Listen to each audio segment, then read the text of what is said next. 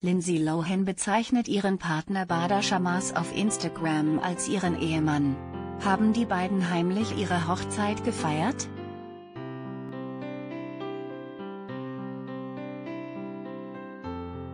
Hat Lindsay Lohan, 36, ihren Verlobten Bader Shamas geheiratet?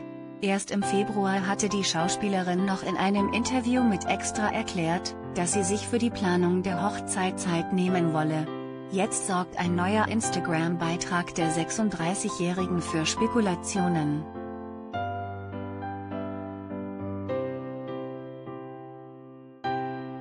Dort hat Lohan ein Pärchenfoto mit Shamas anlässlich ihres Geburtstags am 2. Juli geteilt. Beide umarmen sich und strahlen in die Kamera. Nicht zu übersehen, ein Funkel an der Diamantring an Lohans Ringfinger. Dazu schreibt sie, dass sie die glücklichste Frau der Welt sei.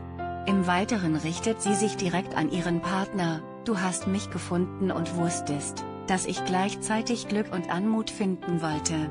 Ich bin fassungslos, dass du mein Ehemann bist. Mein Leben und mein Alles.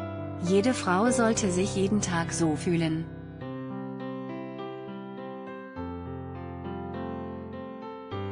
Seit Ende 2021 verlobt.